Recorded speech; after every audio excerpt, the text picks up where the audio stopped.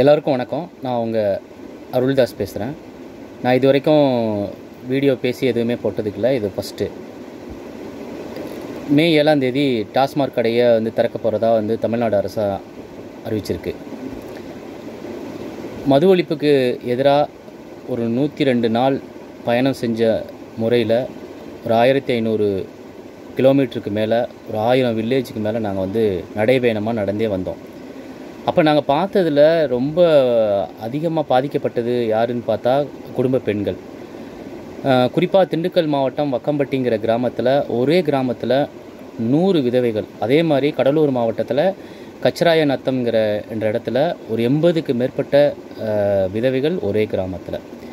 இப்படி பல கிராமங்களில் பயணம் செஞ்சதில் நாங்கள் கண்கூடாக பார்த்தது முழுக்க முழுக்க மதுக்கடையில் தன்னுடைய வீட்டுக்காரங்க சரியான விதத்தில் வந்து காசை கொண்டு போய் வீட்டில் கொடுக்காததுனால பல்வேறு குடும்பங்கள் தங்களுடைய குடும்ப பிரச்சனைக்கு ஆளாகி அவங்க வந்து பல பேர் கணவன்களை இழந்து இன்னைக்கு விதவைகளாக தமிழ்நாட்டில் மட்டும் ஐம்பது லட்சம் விதவைகள் இருக்காங்க புள்ளி ஓரம் சொல்லுது.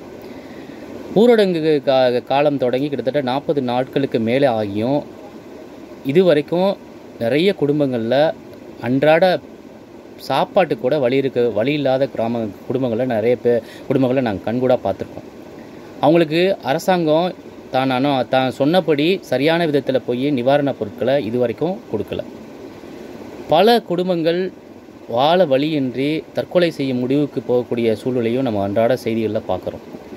இப்படிப்பட்ட சூழ்நிலையில் கொரோனாவை நாங்கள் கட்டுப்படுத்திட்டோம் அப்படிங்கிற சொல்லக்கூடிய தமிழ்நாடு அரசாங்கம் இன்றைக்கி உள்ள காலகட்டத்தில் கொரோனா வேகமாக பரவிக்கிட்டு இருக்கக்கூடிய இந்த சூழலில் மதுக்கடைகளை திறந்து விடுறது எப்படிப்பட்ட விஷயங்கிறத நம்ம வந்து இன்றைக்கி வந்து பார்க்கக்கூடிய ஒரு முக்கியமான கட்டத்தில் இருக்கிறோம்.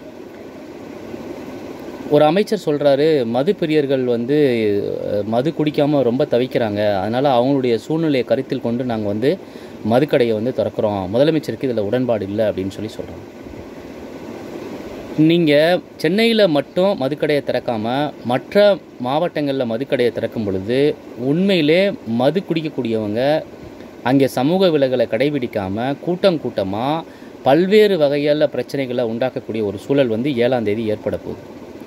தமிழ்நாடு முழுவதும் சென்னையில் மதுக்கடையை திறக்காட்டினா கூட இங்கேருந்து மது குடிக்கக்கூடிய மது குடிக்கிறவங்க கர்நாடகாவுடைய பார்டரில் போய் குடிப்பாங்க ஆந்திராவுடைய பார்டர்லையும் போய் குடிப்பாங்க பக்கத்தில் இருக்கக்கூடிய செங்கல்பட்டுலேயோ காஞ்சிபுரத்துலேயோ போய் குடிக்க மாட்டாங்கிறதுக்கு என்ன உத்தரவாதம் ஸோ இவ்வளோ நாள் கட்டுக்கோப்பாக வச்சுருக்கக்கூடிய இந்த கொரோனா வைரஸுடைய தாக்கத்தை கட்டுப்படுத்த கட்டுப்படுத்தி வச்சுருக்கோன்னு சொல்லக்கூடிய தமிழ்நாடு அரசு மதுக்கடையை திறக்கிறத முற்றிலுமாக கைவிடணும். இப்போ இப்படிப்பட்ட சூழ்நிலையில் மதுக்கடையை திறக்கும் பொழுது நிச்சயமாக அது மிகப்பெரிய பாதிப்பை உண்டாக்கும்.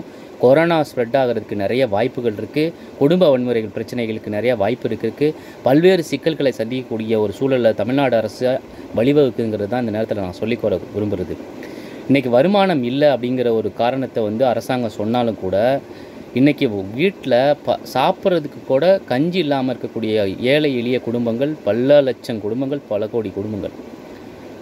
அந்த குடும்பத்தில் இருக்கக்கூடிய அந்த வீட்டு பெண்கள் தான் சேர்ந்து சேர்த்து வச்சுருக்கக்கூடிய சின்ன சின்ன காசை கூட இன்றைக்கி கணவன் பிடுங்கிட்டு போய் குடிச்சிட்டு வந்து வீட்டில் போட்டு மனைவிகளை அடித்து துன்புறுத்தி சித்திரவதை பண்ணி அதன் மூலமாக பல பேரை சூசைட் பண்ணுறதுக்கு இந்த அரசாங்கமே வழிவகுக்குதுங்கிறது தான் இந்த மடுக்கடையை திறக்கிறதுனுடைய முடிவாக நான் பார்க்குறேன் ஸோ உடனடியாக தமிழ்நாடு அரசு செய்ய வேண்டிய விஷயம் என்னன்னு பார்த்தீங்கன்னா மதுக்கடையை கம்ப்ளீட்டாக மூடணும். கொரோனா கட்டுப்படுத்திட்டு இருக்கக்கூடிய இந்த காலகட்டத்தில் மதுக்கடையை திறந்து விட்டால் அது கொரோனா ஸ்ப்ரெட் ஆகி பல்வேறு வகையில் போய் பரவலுக்கு வாய்ப்பு இருக்குது நிறைய குடிமகன்கள் இதன் மூலமாக குடிச்சிட்டு குடும்பத்தில் போய் பிரச்சனை பண்ணி வன்முறையை சூ நிறைய சூசைடுக்கான வாய்ப்புகளும் அதிகமாக இருக்குது.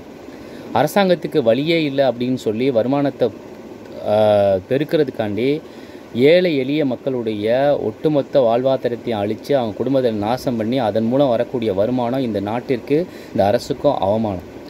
மதுக்கடையை திறக்கிறத முடிவை கைவிட்டு ஏழை எளிய மக்களுக்கு அன்றாட உணவுப் பொருட்கள் மளிகை பொருட்கள் கிடைக்கிறது கிடைக்கிறதுக்கு அரசாங்கம் வழிவகுக்கணும். அதுதான் ஒரு நல்ல அரசாங்கம். மாணவர்களை வந்து படிப்படின்னு கர்ம வீரர் காமராஜர் சொன்னார். இந்த அரசு மக்களையும் மாணவர்களையும் குடி குடின்னு சொல்லுது. இது ஒரு மிக மோசமான முன்னுதாரணம். உடனடியாக ஏழாம் தேதி மதுக்கடையை திறக்கிற முடிவை கடி கைவிட்டுட்டு கொரோனாவை கட்டுப்படுத்தக்கூடிய ஒரு நல்ல விஷயத்தை இந்த அரசாங்கம் செய்யணும். இல்லைன்னா கொரோனாவை விட மது குடித்து அதன் மூலம் நிறைய குடும்பங்களும் நிறைய குடிமகன்களும் இறப்பார்கள் இந்த நேரத்தில் நான் சொல்லிக் கொள்கிறேன்.